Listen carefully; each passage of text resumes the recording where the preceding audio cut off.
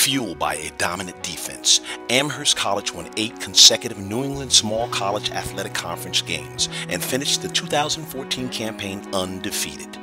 The Lord Jeffs recorded a perfect 8-0 record for the third time in the last six years.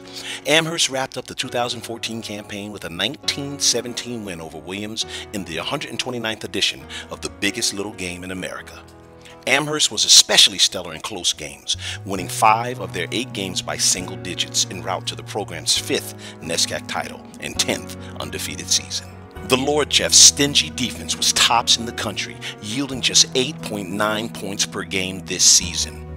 Amherst allowed just three passing touchdowns the whole season. The Lord Jeffs collected 10 All NESCAC selections in 2014, led by Coach of the Year E.J. Mills, who earned his third such accolade in the last six years. Senior linebacker and ECAC All-Star Chris Thomasy led Amherst's supreme defense, racking up a team-high 14 tackles for loss, 5 sacks, and 3 forced fumbles. In the secondary was junior defensive back Jamie Spears leading the way with a team-high 6 interceptions. Senior kicker Philip Nwosu also put together a standout season, earning a spot on the ECAC All-Star team. Ladies and gentlemen, we are pleased to honor Amherst College as a 2014 ECAC Team of Distinction.